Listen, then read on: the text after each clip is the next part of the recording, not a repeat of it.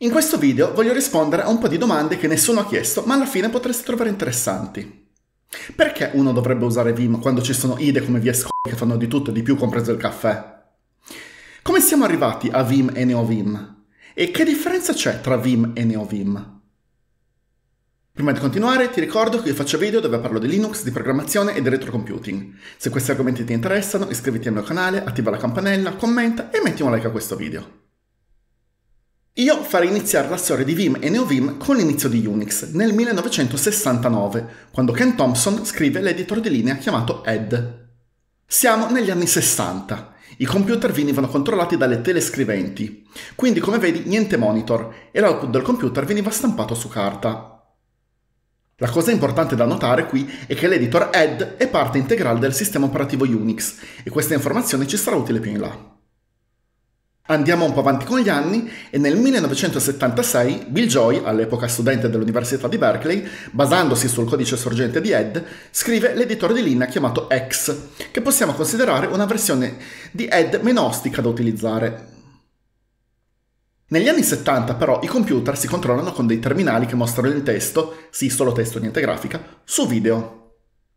Bill Joy per l'esattezza utilizzava un terminale ADM3A, questo dettaglio, apparentemente inutile, invece ci mostra da dove nasce una delle caratteristiche più famose dell'editor VI e di conseguenza di Vim e NeoVim. Diamo un'occhiata al layout della tastiera della DM3A. Nota come le frecce per spostare il cursore corrispondono ai tasti H, J, K ed L. Quindi, tutti quelli che dicono in Vim utilizziamo i tasti H, J, K ed L per spostarci perché è più efficiente che spostare la mano per raggiungere i tasti delle frecce, non raccontano proprio tutta la verità. La verità è che le frecce nel terminale ADM3A si trovavano in corrispondenza di tasti H, J, K ed L e solo per una fortunata coincidenza c'è il fatto che non devi spostare la mano dalla riga base della tastiera. Ma torniamo a noi. Dicevamo che, visto che abbiamo a disposizione un terminale con un monitor, possiamo permetterci il lusso di spostare il cursore a nostro piacimento e di sovrascrivere anche solo piccole porzioni del testo visualizzato su monitor. Ed è proprio lo stesso pensiero che ha avuto Bill Joy quando ha scritto un'interfaccia visuale per X chiamandola VI. Tendo a precisare che siamo nel 1976, quindi quando parla di interfaccia visuale non parla di interfaccia grafica come lo intendiamo noi oggi, ma di interfaccia testuale a tutto schermo. Poi, altra limitazione dovuta al fatto che siamo negli anni 70, la comunicazione col computer avveniva alla folle velocità di 300 bit al secondo. Sì, bit, non megabit.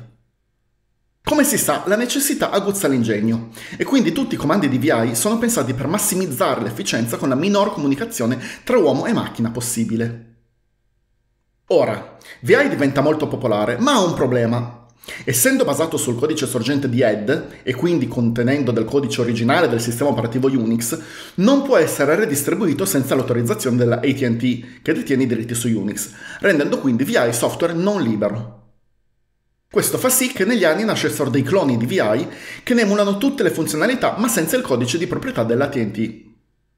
Tra questi ricordiamo Calvin, conosciuto precedentemente col nome di FreeVI, noto per essere uno dei primi cloni di VI per MS-DOS. E sì, non c'entra assolutamente niente con la narrativa di questo video, l'ho incluso in questa lista solo perché sono un fanatico del DOS. Però, se vuoi un editor stile VI che gira bene anche solo su un Olivetti M24, Calvin è l'editor che fa per te. Sempre nello stesso anno abbiamo Stevie, originariamente scritto per Atari ST e successivamente portato su Amiga. Questo port su Amiga ci servirà fra poco. Nel 1990 Steve Kirkendall rilascia Elvis, che è un clone di VI con diversi miglioramenti. Elvis è diventato immediatamente popolarissimo e negli anni 90 molte distribuzioni Linux includevano proprio Elvis come sostituto di VI. Oltre che per Linux, Elvis è stato usato anche come base di partenza per l'editor NVI usato sui sistemi operativi BSD. Poi, visto che non ho ancora stancato abbastanza col DOS, ti dico anche che Elvis è uno degli editor inclusi nella distribuzione di FreeDOS. E arriviamo finalmente al 1991, quando il compianto Bram Mulinar, basandosi sul port Amiga di Stevie, crea l'editor Vim, Inizialmente Vim non aveva tutte le migliorie presenti su Elvis, ma col passare degli anni è diventata l'implementazione dell'editor VI più completa e potente di tutte, tanto che verso la metà degli anni 2000 Vim diventa l'implementazione standard dell'editor VI su praticamente tutte le distribuzioni Linux. Inoltre, Vim è stato portato su qualsiasi piattaforma possibile e immaginabile, e sì, ha indovinato anche su DOS. Facciamo un salto avanti fino al 2014. Vim ha due grossi problemi. Il primo è che pur essendo un progetto open source rimane essenzialmente un progetto di Bram Molinar e non tutti sono d'accordo su come Bram Molinar gestisca il progetto. Il secondo è che il codice di Vim ha origini negli anni 80 e ci sono una marea di accrocchi apposta per supportare architetture che sono diventate obsolete ormai da decenni.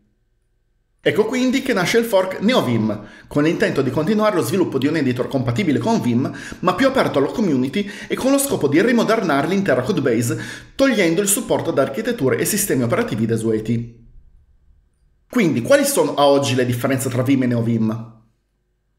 Allora, cominciamo col fatto che Vim è un editor per programmatori e quindi è altamente configurabile e supporta funzionalità aggiuntive mediante dei plugin.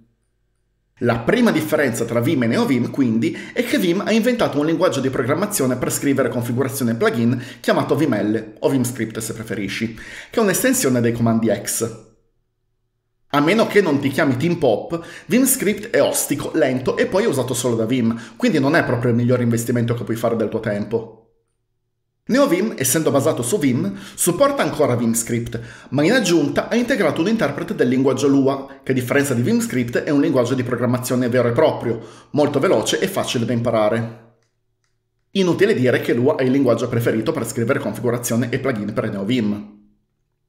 Tuttavia, visto che come detto poc'anzi NeoVim supporta ancora VimScript, tutti i plugin compatibili con Vim sono anche compatibili con NeoVim. Beh, non proprio tutti. Con l'uscita della versione 9 di Vim nel 2022, VimScript ha subito un aggiornamento sostanziale chiamato Vim 9 Script, che rompe la compatibilità con la versione precedente di VimScript, ma aumentando notevolmente la velocità di esecuzione. Gli autori di NeoVim hanno scelto di non supportare Vim 9 Script direttamente, ma TJ DeVries, uno dei maggiori sviluppatori di NeoVim, ha scritto Vim 9 JIT, che converte gli script scritti in Vim 9 Script in Lua.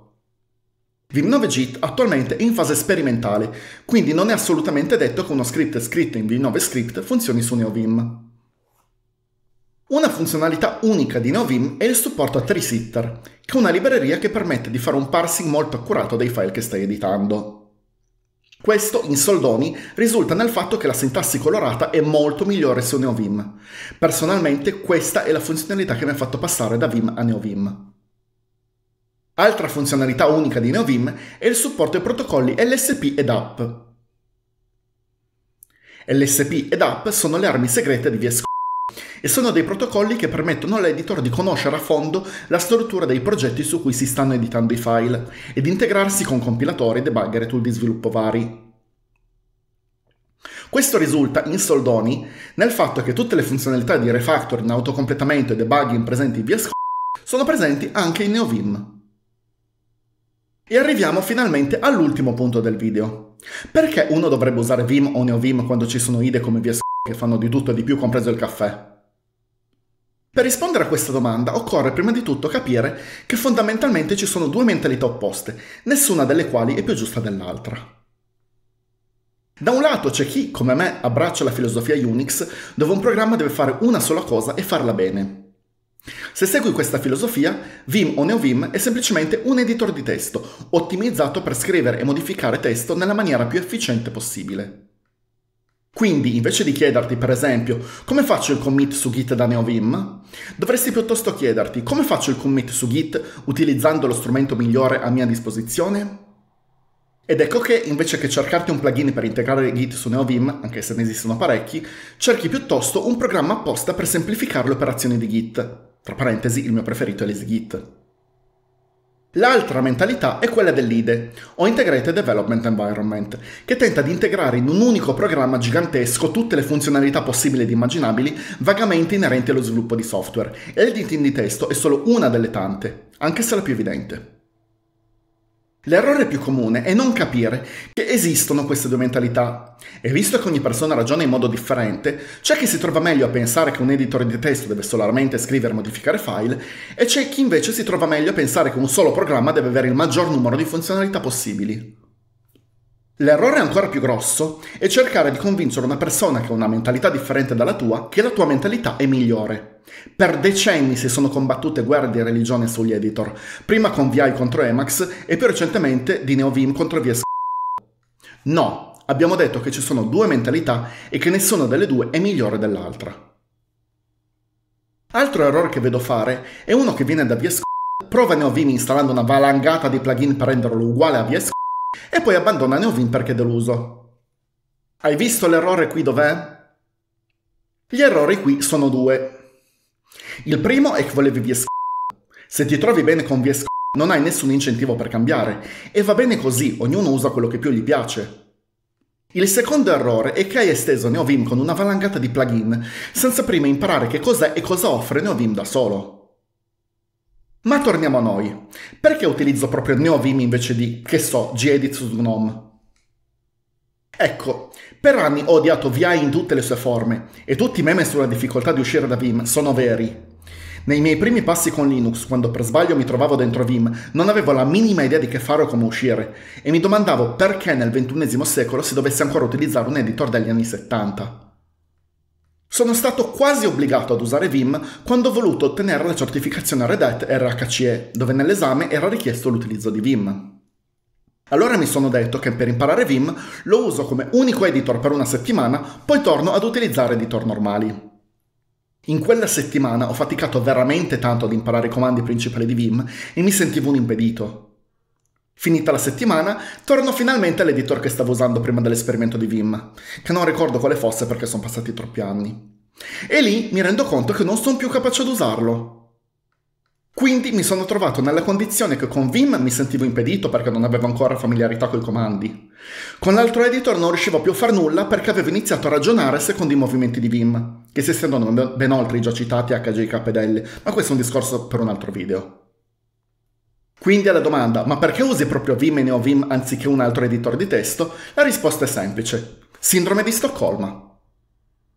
Grazie dell'attenzione. Ti ricordo che trovi i miei video sia su YouTube che su Odyssey. Trovi tutti i link in descrizione. Al prossimo video. Ciao!